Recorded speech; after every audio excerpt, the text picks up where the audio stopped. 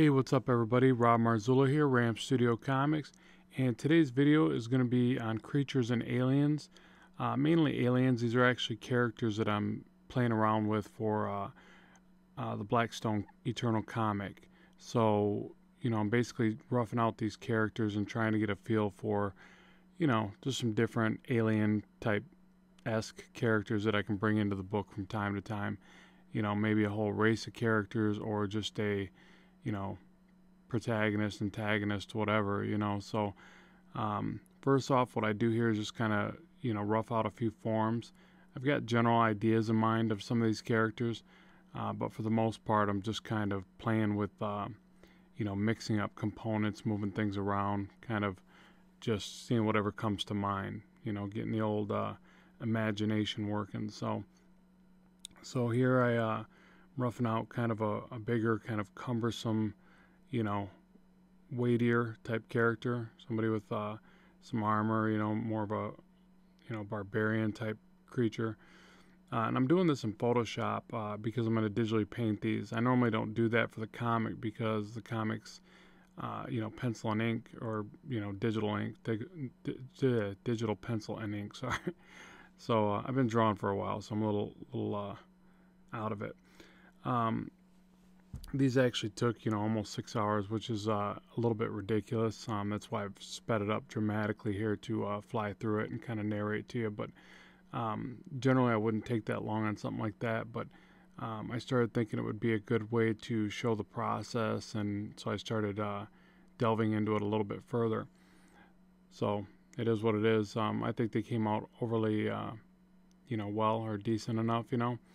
Um, but it allows me to, you know, just kind of play around with these ideas and see what works and what doesn't. Um, so yeah, using Photoshop here to digitally sketch it. Um, Photoshop's actually gotten a lot better over the past few years for digital sketching. I used to absolutely hate it as far as drawing. Painting was always nice, but I could never get it to draw really well. But now with the way they have the brushes, the rotate screen, it actually draws pretty darn well. So Got to be thankful for that. So now I'm adding in some gray tone there. I throw in some loose backgrounds to each just because it helps me to add value to the rest of the uh, the character in the drawing, you know. So I basically, you know, I'd love to sit there and detail that entire thing, but they would have really taken a while then. So uh, I just sit here and you know, drop in that background so that when I add my highlights mainly, uh, and all my values to the character, it pops out a little bit more. So, just a uh, you know tip for you if you ever want to digitally paint it, it, it almost helps to either paint on a gray tone background or color, uh, you know, or just do what I did there and just loosely, you know, paint something in. So I just kind of uh, go back and forth, adding tone and, and value and doing some smudging. Obviously, I, actually I smudge like crazy and um, just keep working up the form. And sometimes I, you know, I struggle a bit, and I sit there and try to figure out, you know, where do I want to see some depth in this? What what uh, specularity is the material of the armor? Is there a lot of indentations and rough spots? And I just kind of keep pinballing around till I get something decent. Um, and actually, in retrospect to this character, I wish I would have spent a little bit more time with some of the texturing, just because you know, you'll see it when it's done. I think it comes out okay, but I think it could have been uh, better. Um, one of the things about digital, though, that, that I'm actually really enjoying now and at the point that I'm at, is I'll actually go back and revisit my digital drawings or paintings and add to them. So I'll take knowledge that I've gained. You know, I might learn something next month, and then I'll go back to certain paintings, like probably this one, like I'm talking about, and I'll add certain elements that'll really make it pop. So, um, and it's all good for the portfolio, you know. So just keep that in mind. That's one of the really neat things about digital is you can always go back and revisit those, you know, those paintings that you think could have just been a touch better, you know, and something was lacking. And I still don't know what it is, you know, on this particular one, but I'll figure it out, I, I suppose, hopefully. So you see, I kind of maneuver the hand there and change that on this squid-looking dude. I still haven't thought of a a name for him actually, or this breed or whatever he is. Um, we'll just call him Squidius or something crazy. But yeah, just uh, keep refining the, uh, the line work. And on this one, I actually uh, took the line work a step further. Um, I think because I actually really like the design of this character, and I'll probably end up introducing this one sooner. Just you know, and I know it's kind of silly that I would pick that for the storyline based on the design of the character, but a lot of times when I design a character like this and I draw it out, uh, something about that process starts to give me storyline ideas. And I know it's probably a little bit uh, counterproductive or something. Like you should probably, you know, write your entire story down first. But and I do that majority of the time. But sometimes I draw something and it sparks ideas for creativity and for storyline um, ideas.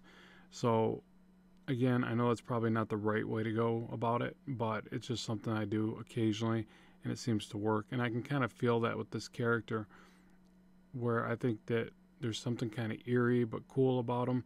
So, you know, it could definitely be a, a cool villain or or maybe it's one of those misunderstood characters where they look like a villain but they're actually a pretty neat guy.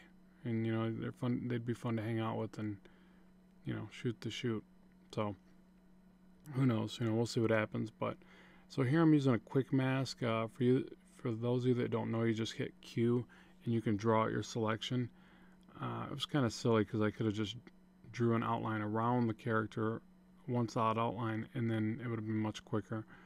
And then I fill in the, the character with a gray, and it gives me a base tone to work with, and then I paint up from there. And you see I switch around from like soft brush, hard brush, uh, chalk brush, whatever. You know, I only have about eight or nine brushes, and I really prefer it that way. I don't spend all this time digging through a large assortment of brushes, which was driving me crazy before. So, if you notice, that's why. And also, when people ask me now, "Hey Rob, what brush are you using?" I got it right on my DeviantArt. You can find it at ramstudios1.deviantart, and uh, you can download those brushes. It's an ABR file. Throw it in your system, and you're up and running, and you can follow along and do exactly what I'm doing or whatever. There's not a bunch of complex brushes for you to wonder if I change something, I'm doing something different. So, at any rate, that's that's what that's all about. So the way I'm painting him is actually the way I prefer uh, to to paint. A lot of times is where I drop in some larger um, kind of spot colors of value. If that makes any sense, I just kind of you know lay in a, a larger tone, uh, almost like I'm cel shading and something, you know, in, in comic or animation form, but I'm not. And you can see it on the chest there how there's two to three main you know gradients or tones.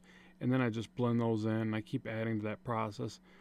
Uh, it doesn't work well for texturing. Well I guess it could but you'd have to do it in a lot smaller increments. Um, I usually stipple when I do my texturing or whatever but the uh, the reason I like doing that it's easy to work your form up and get an idea for your uh, your shapes of shadows or your your amount of uh, uh, defining your planes anyways. So it's it's an easy way to define your planes I guess would be the best way to say it. So I'll try that see if it works for you. I, I actually like it. Then I immediately go in and start you know doing that white highlight on the edge because it helps me uh, again round out the form and see into it more and then I just start overlapping strokes for my texture of the tentacles texture of the skin.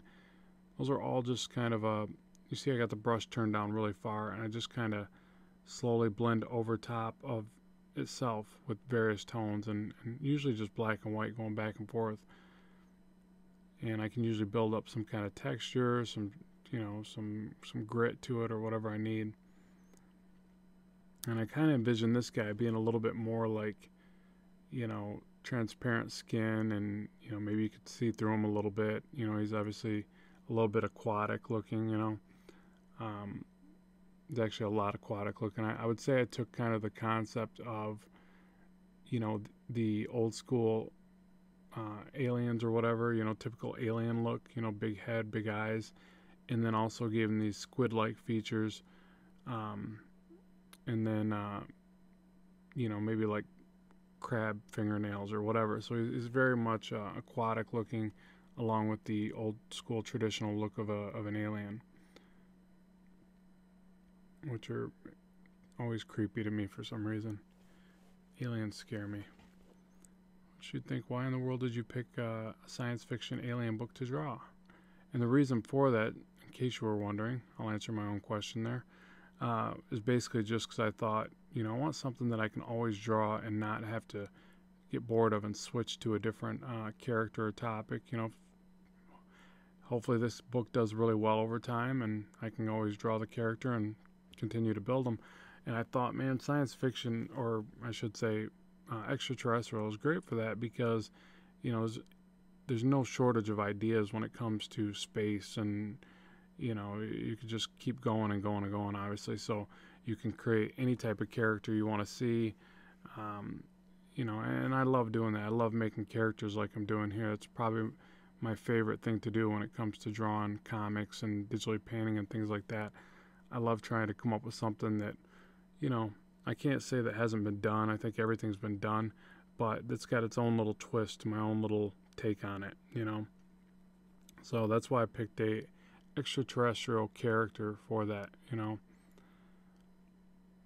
So here just building up those tones and you know here I'm adding in some like veiny look and then blending it down and toning it down. Uh, that's actually a good way to do your your veins on anything, but I'm trying to make it look like he's a little bit he or she, I don't know what this is, but a little bit transparent. But it's also a good way to do the regular veins for your uh, muscular anatomy, just so you know. And now working on the line. Now I kind of shortcut on this one because I, I took a little bit too long on the last one as far as the digital painting of it. So this one I do a little shortcut method. I just draw the exterior line around, uh, cleaning it up a little bit, but pretty much just using it to create my selection and delete the, the sketch lines on the outside of it, which I'll do here in a second, and then merge it all down and paint it gray. And that's really all you need. I, I overdid the line work on the previous one, but I could probably use that later on for some kind of more, you know, just for line work uh, illustration needs. But for, for painting, you really don't have to refine your lines that much. As long as you can see the idea, you can start painting away, you know.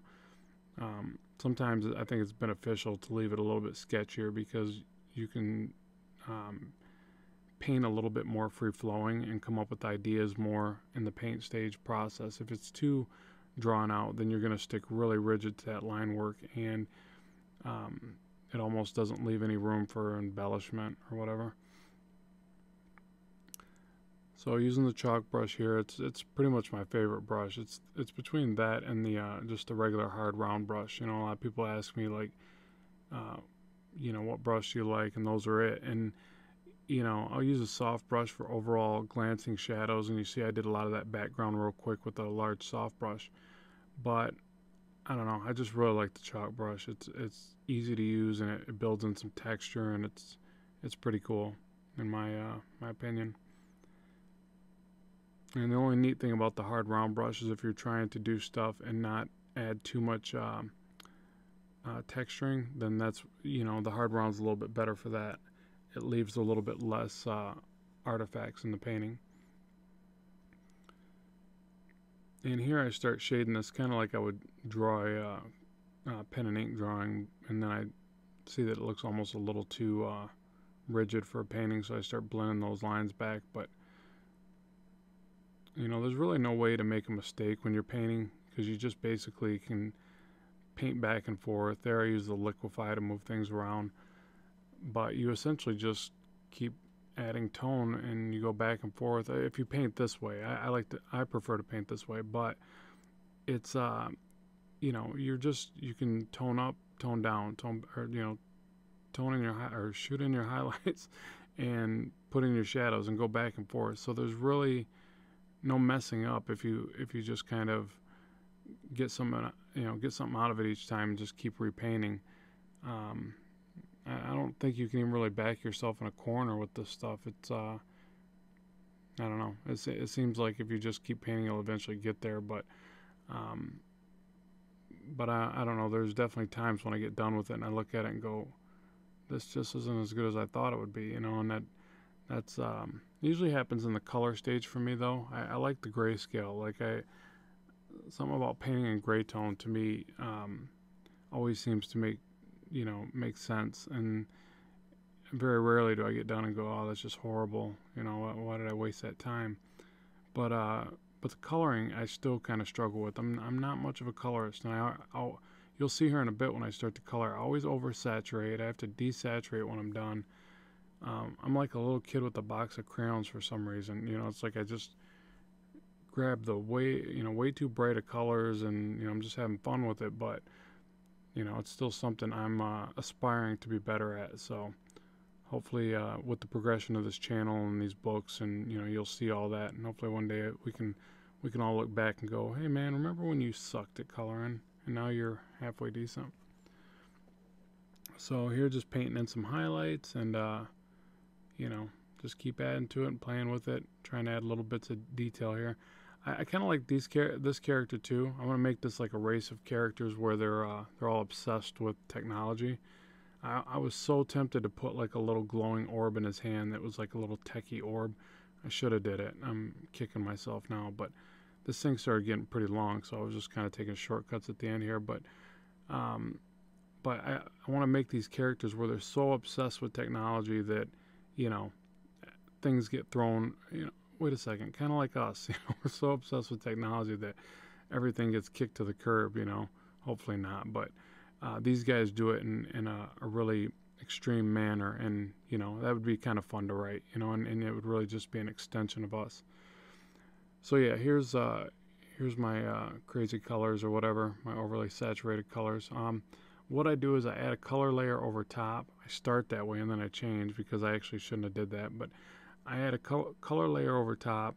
I'll do one or two of those, and then I'll add like another overlay layer over top of that. And sometimes I get some pretty decent results with that, but here I feel like it just, you know, especially this one, it doesn't end up popping the way that I like and I hoped for. And I start playing with the levels and trying to paint in deeper tones in the background. Um, and, and really what I think would have helped is if I actually just paint, made a copy of the characters and paint it on top of the layer, um, you know, which I do by the end of the character, and I go back and try to adjust what I'm doing here. But you know, there's so many different ways to do this stuff. You just got to play around with it. Um, and, and these aren't really what I would call high detailed paintings. These are kind of mediocre detail. I was trying to actually do the three characters with color in three hours. And um, the reason being is is you oftentimes have to time yourself so that when you have a, a deadline oriented, oriented job, uh, you can deliver a certain amount of detail, um, give everything kind of a once over, and still make it doable. And that's really popular in concept art, storyboards. It's a must, you know. So you, you got to think about things like that. And that's actually I was trying to combine a little bit of all that, you know, make some new characters for the Blackstone comic, make some new samples for my, uh, you know, portfolio but also do it in a certain amount of time so that I can gauge, you know, what I can uh, complete. And you know, they, they come out all right. They're they're decent. You know, I I wouldn't say that uh, they're done. That they they could actually be worked on further. Like I said, I'll probably revisit them. Um, I think I would definitely like to take the middle aquatic squid dude and um, paint into him further and really make that a, a full finished painting. I might do that. So here I just add some final uh, touches and, you know, play with the saturation and keep going back and forth and touching it up. So at any rate, I thank you for watching and I appreciate all the support. Please like, share, and subscribe to the channel if you don't mind. And uh, more stuff is on the way. You know, I like to make videos, so more of them are coming at you. Thanks for watching. As always, keep drawing, keep having fun. We'll talk to you.